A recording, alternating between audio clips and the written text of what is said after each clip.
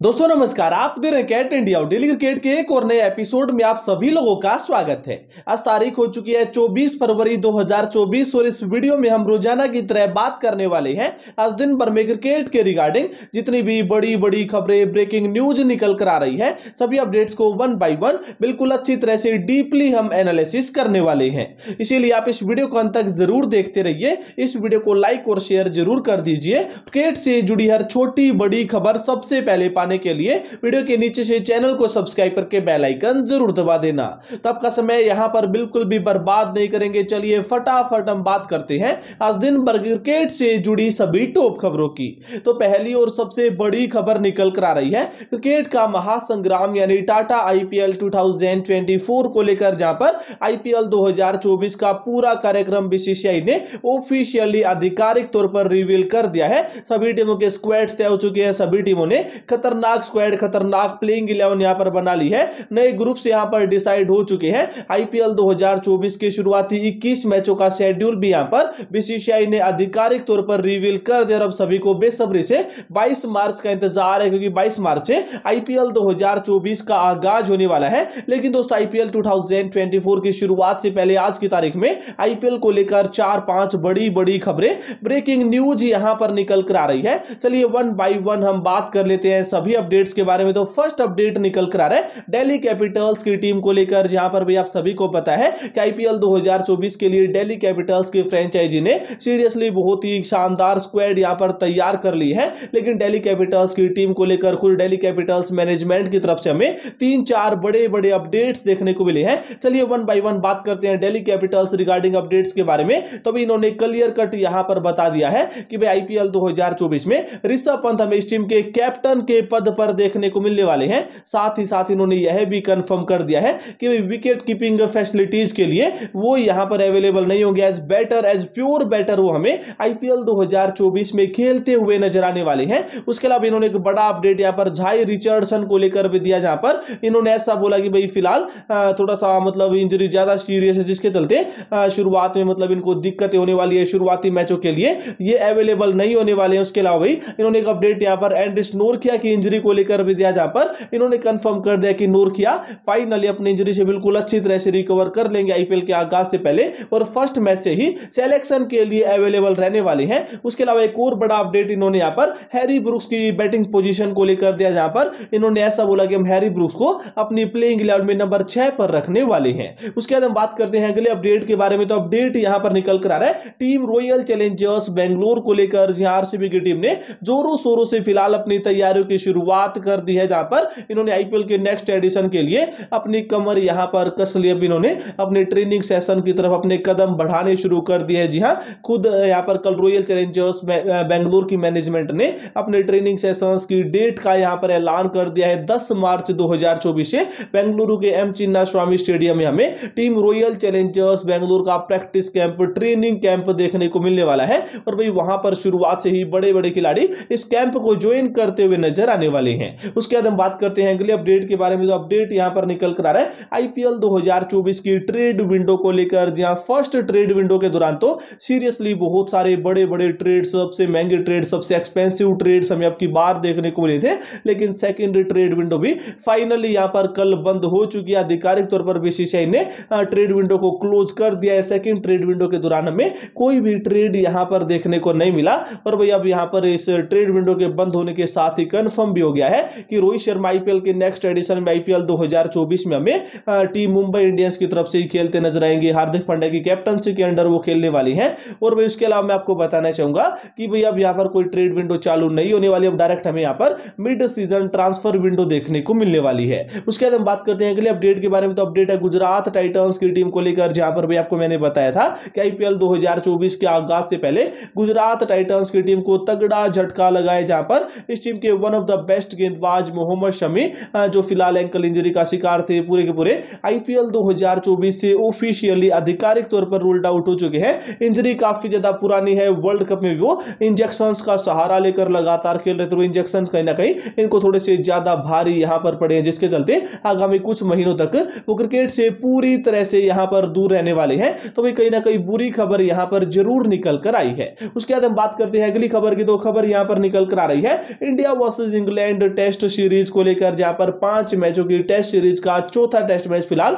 रांची के स्टेडियम में हमें देखने को मिल रहा है। और भाई, जैसे हमने पिच रिपोर्ट दी थी, बिल्कुल वही सेम कहानियाँ सेम सीनेरियोज हमें देखने को मिल रही है। पिच बिल्कुल वैसा ही बिहेव कर रही है शुरुआत में। हमारे गेंदबाजों ने कमाल करके दिखाया लेकिन उसके बाद यहाँ पर डे वन के स्टम्प तक इंग्लैंड की टीम ने जोरदार कम यहाँ पर कर लिया था। तीन सौ प्लस स्कोर इन्होंने कर लिया है, जो रूट ने यहाँ पर शतक जड़ दिया है। और भी मतलब बहुत कुछ हमें सीरियसली इस मैच के दौरान देखने को मिला, जहाँ पर एक तरफ़ तो ऐसा लग रहा था कि मैच 150 के आसपास ही हम इंग्लैंड की पूरी की पूरी टीम को सिमटा देंगे, लेकिन उसके बावजूद यहाँ पर एक मतलब डे वन में एक अच्छी पोजीशन तक यहाँ पर इंग्लैंड की टीम गई। अब डे टू में पिच क्या बिहेव करती है, थोड़े से क्रैम्प हमें ज़्यादा देखने को मिलेंगे, जिसके चलते डे फोर डे फाइव में तो सीरियसली स्पिनर्स का दबदबा यहाँ पर ज़रूर रहेगा। लेकिन भाई, आज शुरुआत में यहाँ पर थोड़ी सी पेसर्स को मदद ज़रूर मिल सकती है। लेकिन भाई, हमारा तो यही टारगेट रहने वाला है कि सबसे पहले हम इंग्लैंड टीम के सभी बल्लेबाजों को आउट करें, इंग्लैंड को जल्द से जल्द ऑल आउट करें, और उसके बाद भाई, हमारी बल्लेबाजी में स्ट्रोंगर कम करें, हम थोड़ी सी लीड यहाँ पर इंग्लैंड के ऊपर बनाए और कुछ मतलब कुछ इसी टाइप की रणनीतियों के साथ हम यहाँ पर आगामी डेज़ के मैच खेलने वाले हैं। उसके बाद हम बात करते हैं अगली खबर की तो खबर यहाँ पर निकल कर आ रही है। श्रेयस अय्यर और ईशान किशन को लेकर, जी हाँ बड़ी खबर है ब्रेकिंग न्यूज़ है थोड़ी सी इंपोर्टेंट खबर इसलिए हम यहाँ पर कवर कर रहे हैं, जी हाँ। अब इसे कुछ दिनों पहले बीसीसीआई ने दोनों ही खिलाड़ियों को कुछ लेटर्स भेजे थे, जहाँ पर भाई बीसीसीआई ऐसा चाहते थे भाई दोनों खिलाड़ी सुरेश अय्यर और ईशान किशन भारत के डोमेस्टिक क्रिकेट का हिस्सा बने रणजी ट्रॉफी के मैचेस के लिए लेकिन उसके बावजूद उस वार्निंग को इन दोनों ही खिलाड़ियों ने इग्नोर किया है रणजी ट्रॉफी के मैचेस में।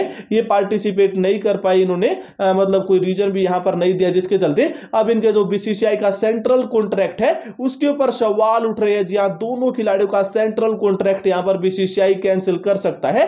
और वैसे में अगर कैंसिल होता है तो भाई दोनों खिलाड़ियों को तगड़ा झटका यहाँ पर ज़रूर लगेगा जी हाँ। सभी फॉर्मेट से पत्ता कट जाएगा तो भाई कहीं ना कहीं ईशान किशन और आपके यहाँ पर सुरेश अय्यर दोनों खिलाड़ियों के लिए बहुत ही बुरी ये खबर निकल कर आई है। उसके बाद हम बात करते हैं अगली खबर की। दो खबर यहाँ पर निकल कर आ रही है। चेन्नई चेन्नई सुपर किंग्स की टीम को लेकर आईपीएल 2024 के लिए one of the strongest squad बनाने वाली टीम चेन्नई सुपर किंग को लेकर भी एक बड़ी खबर ब्रेकिंग न्यूज़ थोड़ी सी बुरी खबर निकल कर आई है जहाँ पर। कल मैं आपको बताना चाहूँगा इन्होंने न्यूजीलैंड के one of the best allrounder युवा ऑलराउंडर रचिन रविंद्रा को नीलामी के दौरान अपने स्क्वाड में शामिल किया था। लेकिन दोस्तों, कल यह खिलाड़ी गंभीर इंजरी का शिकार हो गया जी हाँ इंजरी थोड़ी सी ज़्यादा सीरियस है। जी हाँ एंकल इंजरी उनको एंकल इंजरी रिकवरी में थोड़ा सा टाइम लेती है, जिसके चलते सीएस के खेमे में थोड़ा सा अजीब तरह का माहौल है। जैन का खिलाड़ी यहाँ पर इंजर्ड होते भाई कहीं ना कहीं मुसीबत भरी ये खबरें ज़रूर है, लेकिन रचिन रविंद्रा की जो इंजरी है, हालाँकि फ़िलहाल तो उनकी जो फिजियो है, उनकी जो मेडिकल टीम ऐसा ही क्लेम कर रही है कि जल्द से जल्द वो रिकवर कर लेंगे आईपीएल तक डेफिनेटली अपना कम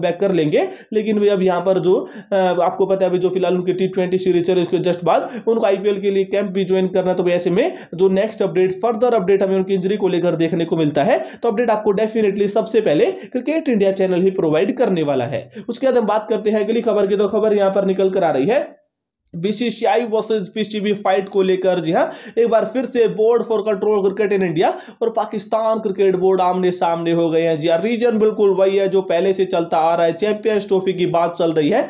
चैंपियंस ट्रॉफी अपना कम करने के लिए जा रही है। डायरेक्ट दो हज़ार पच्चीस में कम होगा पाकिस्तान के पास। होस्टिंग राइट है बीसीसीआई ने बोल देगी हमारी टीम को पाकिस्तान में चैंपियंस ट्रॉफी खेलने के लिए नहीं भेजेंगे। बेशक आप हमारी टीम को बाहर निकाल दीजिए। आपको पता है आईसीसी बाहर निकाल नहीं सकती क्योंकि भाई, अगर भारत का टीम ही नहीं खेलेगा तो भाई सीरियसली बड़ा ह्यूज मिलियन डॉलर्स का ह्यूज लॉस यहाँ पर आईसीसी को झेलना पड़ेगा क्रिकेट बोर्ड्स को झेलना पड़ेगा। तो ऐसे में यहाँ पर पीसीबी की पूरी कोशिशें थी कि हर हालत में पाकिस्तान में चैंपियंस ट्रॉफी हो, लेकिन पाकिस्तान में चैंपियंस ट्रॉफी फ़िलहाल पॉसिबल नहीं है, जिसके चलते किसी न्यूट्रल वेन्यू पर हमें चैंपियंस ट्रॉफी 2025 देखने को मिलने वाली है। लेकिन पाकिस्तान क्रिकेट बोर्ड इससे यहाँ पर बिल्कुल भी खुश नहीं है। पाकिस्तान क्रिकेट बोर्ड ने रिसेंटली यहाँ पर कुछ बड़ी चीज़ें की थी उन्होंने। ऐसा बोला था कि अगर यहाँ पर भारतीय टीम चैंपियंस ट्रॉफी खेलने के लिए पाकिस्तान नहीं जाती है तो भाई बदले में कुछ कुछ कुछ ना कुछ यहाँ पर कंपनसेशन अमाउंट यहाँ पर देना पड़ेगा बीसीसीआई को, लेकिन कोई भी अमाउंट देने के लिए बीसीसीआई यहाँ पर तैयार अमाउंट से बीसीसीआई को, कोई भी फ़र्क यहाँ पर नहीं पड़ता है। उसके बाद हम बात करते हैं अगली खबर की तो खबर निकल कर आ रही है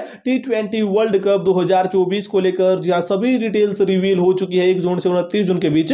यह शानदार टूर्नामेंट अभी दो कंट्रीज़ में, जहाँ वेस्ट इंडीज और यूनाइटेड स्टेट्स में देखने को मिलने वाला है। सभी डिटेल्स पूरा कार्यक्रम, नए ग्रुप से मतलब सब कुछ यहाँ पर डिसाइड हो चुका है। लाइव टेलीकास्टिंग डिटेल्स को लेकर बड़ी खुशखबरी निकल कर आई है जहाँ पर डिजनी प्लस हॉटस्टार बिल्कुल फ्री में मोबाइल पर लाइव टेलीकास्ट करने वाला है।